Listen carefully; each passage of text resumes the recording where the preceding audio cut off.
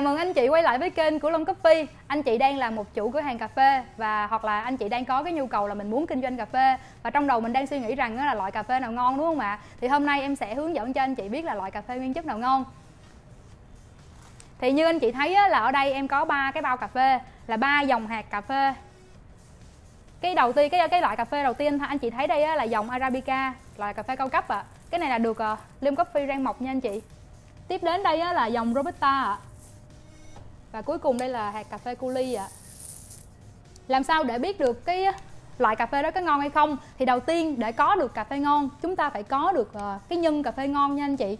Thì ờ, trên tay em đây là đang có hai cái dĩa cà phê nhân sống. Thì bên tay phải của em là nhân hạt cà phê arabica và bên tay trái của em là nhân hạt cà phê robusta thì à, để có được cà phê ngon thì à, Leon Coffee phải chọn những cái trái chín từ trên cây xuống và sàng lọc rất là kỹ và qua một số bước chế biến thì à, Leon Coffee mới có được cái nhân cà phê như thế này ạ. À.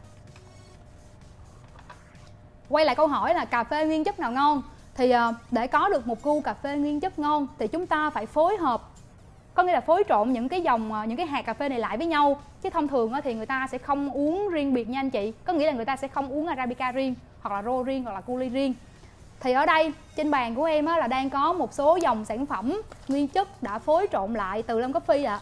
có rất là nhiều loại ạ à. như anh chị đang thấy ạ à. thì như anh chị biết á, là cà phê như thế nào là ngon thì à, sẽ tùy thuộc vào mỗi khu vực mà anh chị đang à, sinh sống và buôn bán á, thì cái nhu cầu của người dân ở đó thì họ sẽ có cái cái cái khẩu vị khác nhau chứ không phải là anh chị cứ đem cà phê đó và bán được nhiều nơi tại vì ý của em là giống như kiểu là anh chị bán ở khu vực này thì cà phê nó sẽ khác và anh chị bán ở khu vực khác thì cà phê nó sẽ khác thì ở đây là trên bàn của em là có ba cái ly cà phê được pha ra từ ờ, những cái gói cà phê nguyên chất của Long Coffee ạ à. thì trên ba ly này á cái mùi vị của những cái ly này nó cũng sẽ khác nhau từ độ đắng cho đến độ thơm nếu như anh chị nào mà muốn á, mình ờ, có một cái gu cà phê đặc biệt và kiểu như là ngon phù hợp với khu vực mình bán á, thì hãy liên hệ ngay về cái hotline của Long Coffee. Cấp Coffee sẽ gọi lại cho anh chị và sẽ tư vấn kỹ càng hơn để được mình được có cái gu cà phê ngon nhất. Cảm ơn anh chị rất nhiều đã theo dõi kênh ạ. À. à, nếu mà anh chị thích có thể là like và share kênh nhé. Xin chào bạn